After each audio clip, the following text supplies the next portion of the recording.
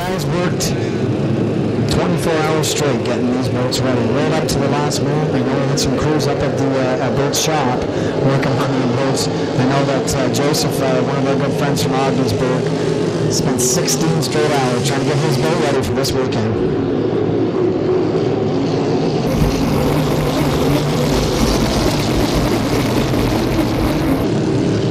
Well, they all made it through the first turn, so that's good. They know he's there, so I think we're pretty safe right now.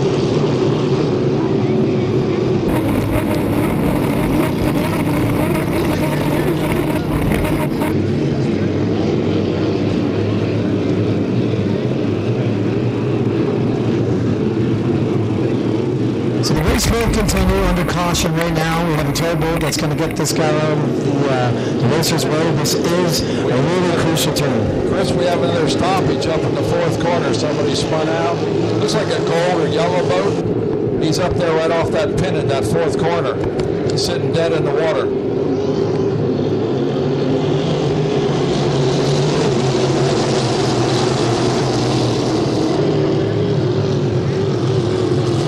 Yeah, we do have two boats spin out.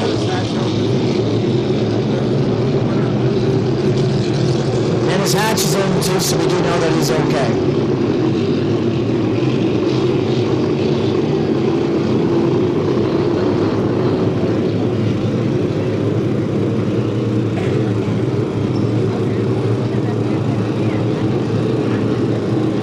If we out of the way here, are we going to see a black flag shortly? I mean, there's only so many times these fellas can go down, and they're going to run out of gas and not be able to complete the actual race. Well, Chris, once they go by them, they know where they, where they are, so they'll, they'll steer clear of them, and they'll be okay.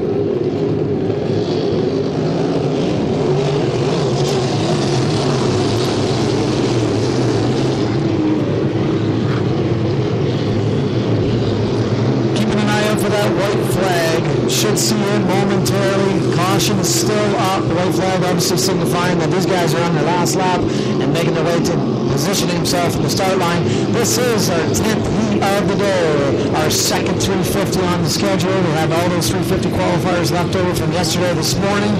We've got one more 350 after this heat. And then we're going to jump right into the Grand Prix, and that's uh, one of my favorite parts of the day, and that's why we dragged Mr. Grand Prix over here. He was going to tell you a little bit more about the Grand Prix when we get back to that heat.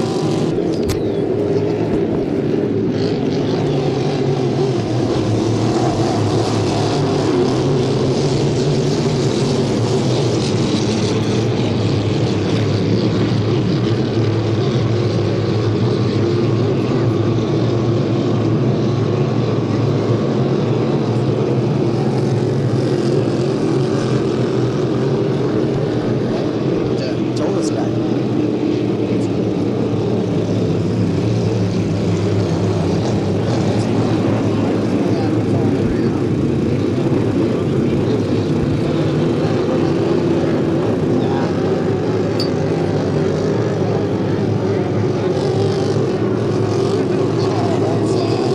Jerry. I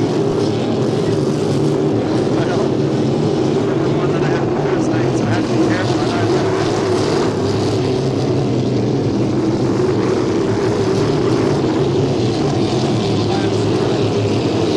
All right, this is the last lap. This is where the drivers are looking at their watches, trying to position and time this start perfectly. As we mentioned earlier this morning, these are video start. These fellows don't know if they scratch on that start line until after the race is going. Even though they're mic'd in with their pit crew, chances are they're not going to know until they pull up to the dock. This race, again, is the second 350 heat. We have two of the top racers in the country. Top two, Mark Poirier, singing 85. He's racing the 333 boat. That's Inferno. That's the orange, black, and kind of red fire look to it. Then we have second, that's H15. He's the green boat. John Pierre Morin. He's only three points behind. There's Jean, there's Jean Pierre right there.